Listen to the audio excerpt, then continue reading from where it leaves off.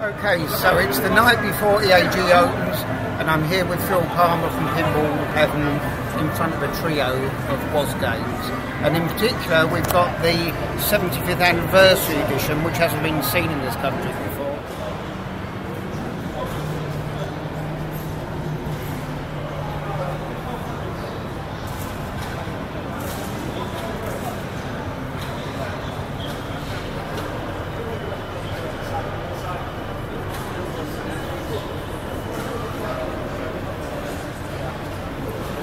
Tell us about. Well, as you can see, it's beautifully coated in ruby red metallic finish on all the metalwork. You've got a couple of added toys uh, there, and you've got the shaker motor in it as well with the Invisiglass. You've got a new, different apron artwork as well, uh, with a different topper. Different back glass is red instead of the green.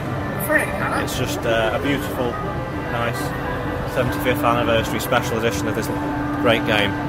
That's great, thanks very much.